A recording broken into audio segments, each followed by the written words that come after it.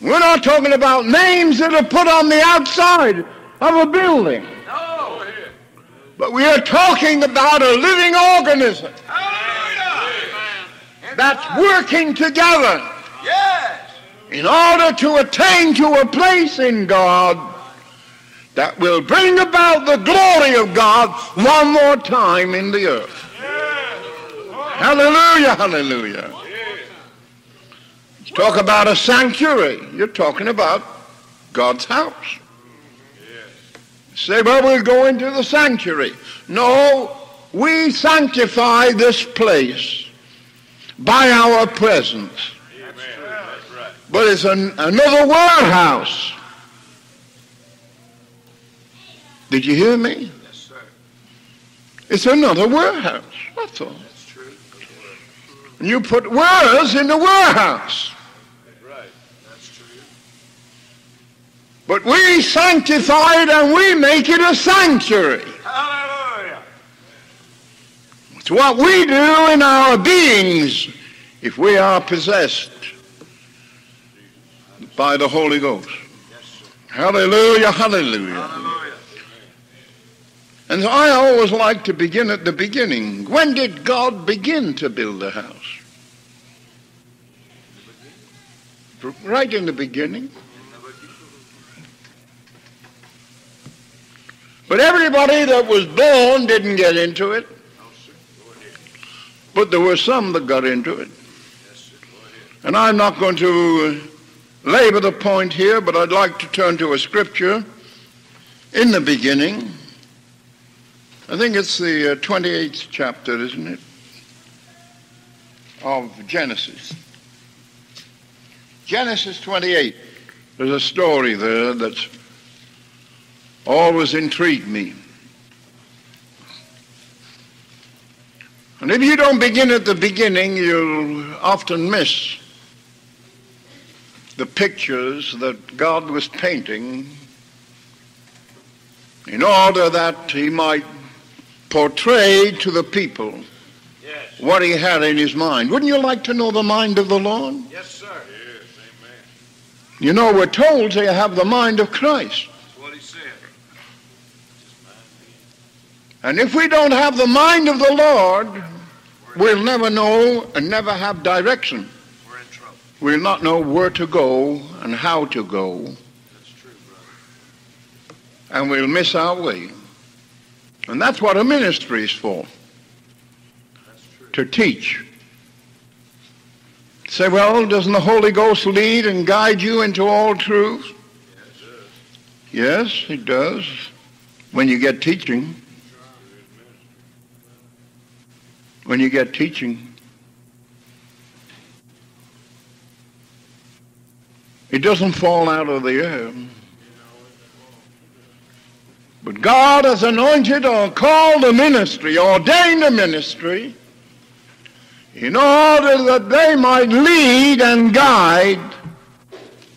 And as they lead and guide, then the Spirit of God illuminates what they say. That's true. I don't want to go into the order of God today, but I'll just give you that on, in passing. In this 28th chapter, you know the story, It's the story of Jacob. And Jacob was a twister. He's called a worm in the Bible. Right. You know, God can use worms. Said he's going to use worms to thrash mountains. What he said. That's what he said. I'd like to be one of those worms. Have you ever noticed what a worm is like? It teaches some lessons, you know. You can cut a worm in two and both ends will go running off in different directions.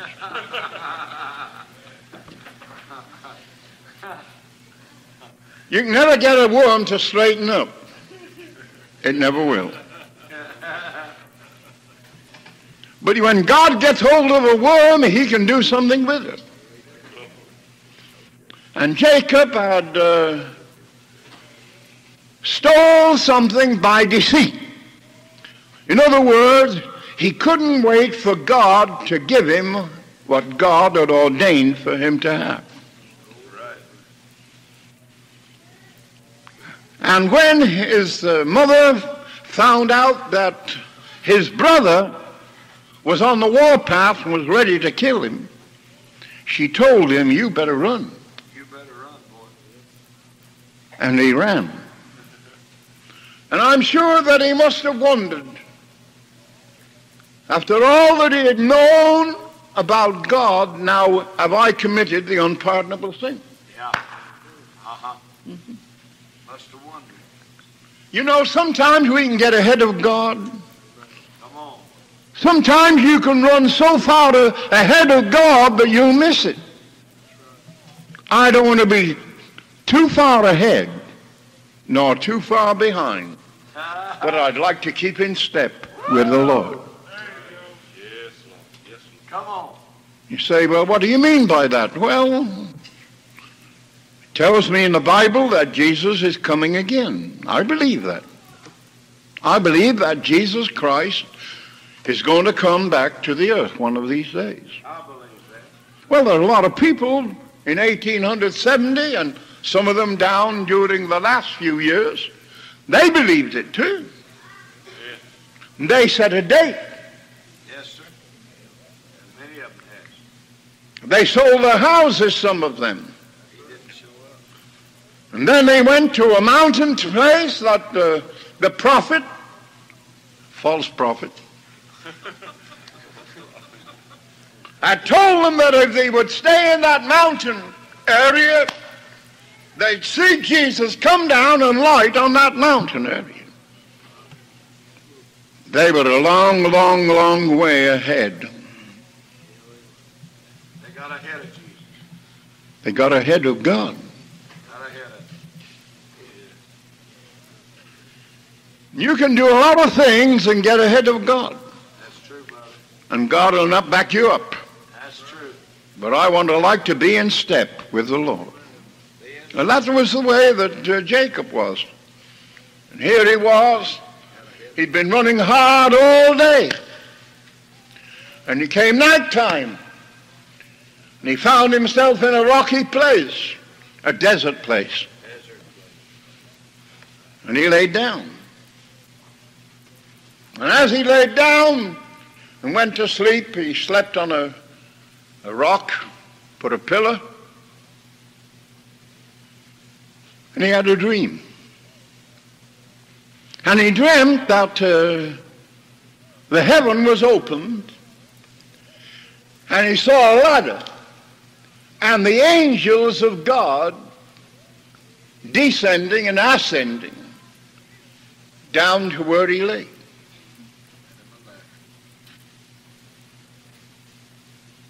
And he woke up.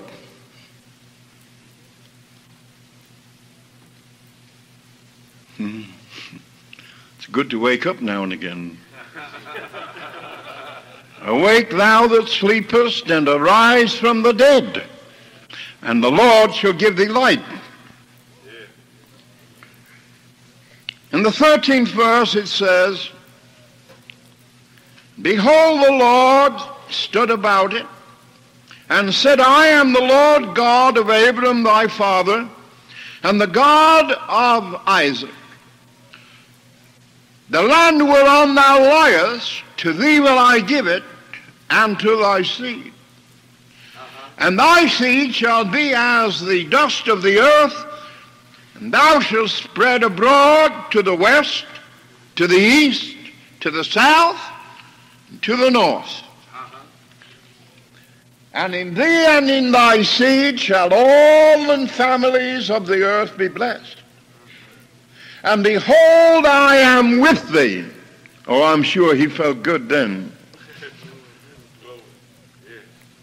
Well, I haven't missed the Lord, even though I did something that was contrary to his will.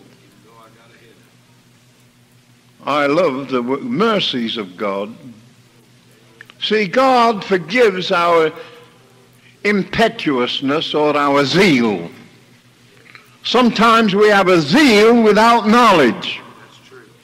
And we do things outside of the will of God. True. But if that is a sincere desire, God looks on the heart. Aren't you glad for that? God looks on your heart, whether you're sincere in what you're doing. That the knowledge that you do have has not been sufficient to guide you. I'm glad he overlooks us. I'm glad he lets us go by. He did me for a long time. And uh, now and again he does it now. I am with thee and will keep thee in all places whither thou goest, and will bring thee again into this land. For I will not leave thee until I have done that which I have spoken to thee of. And Jacob awaked, fully awake now, Yeah, fully awake. out of his sleep. And he said, Surely the Lord is in this place. And I knew it not. And he was afraid and said, How dreadful is this place? This is none other but the house of God. Hmm. What was the house of God? That rocky desert wilderness? No, Was that the house of God? no. No. That wasn't the house of God. But he was in a heavenly place.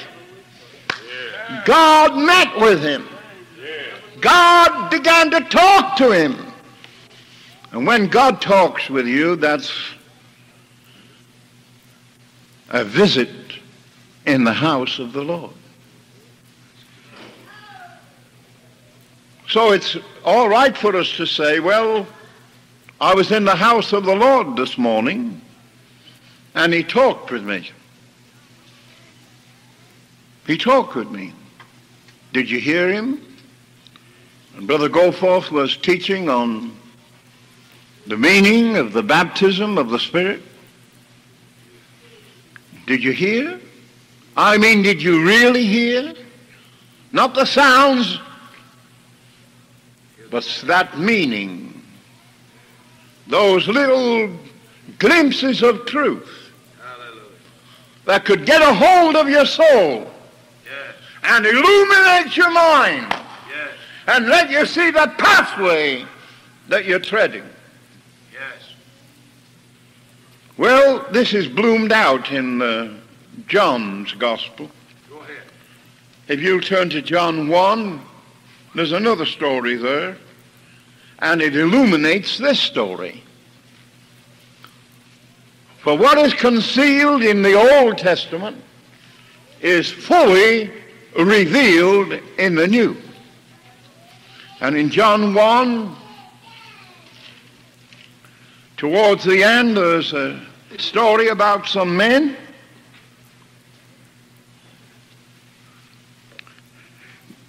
starting at the 43rd verse.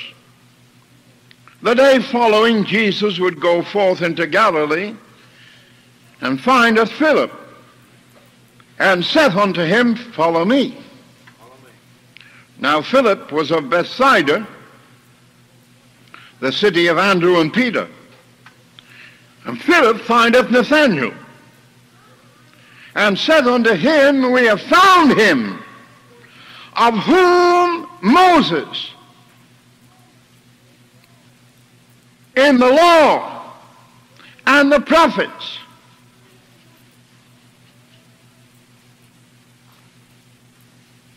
it's written Jesus of Nazareth, the son of Joseph.